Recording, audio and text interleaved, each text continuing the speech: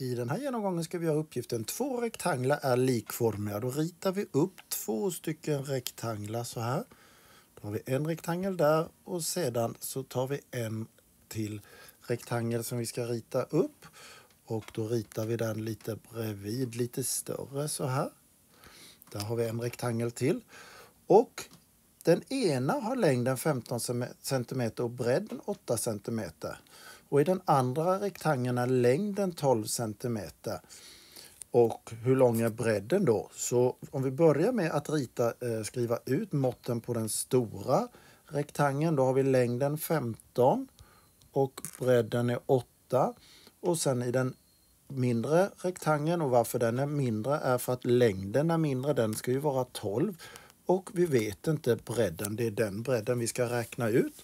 Och här ska vi använda oss av likformighet. Har du glömt det här med likformighet går du in på dallesmatte.se och kollar på genomgång.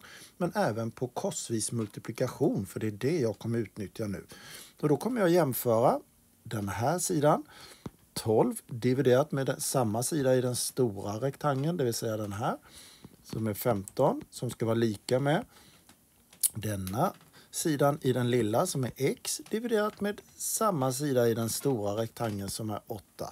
Och nu har jag ett bråk lika med ett annat bråk, det vill säga jag kan använda mig av korsvis multiplikation, det vill säga 8 i nämnaren multiplicerar jag upp till täljaren där och 15 i nämnaren multiplicerar jag upp till den andra täljaren.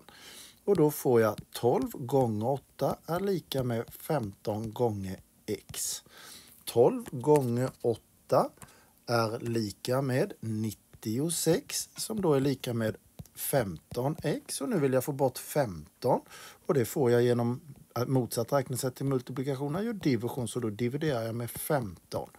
Och då kommer jag få att x är lika med 96 dividerat med 15 som är lika med 6,4. Så den här sidan är 6,4.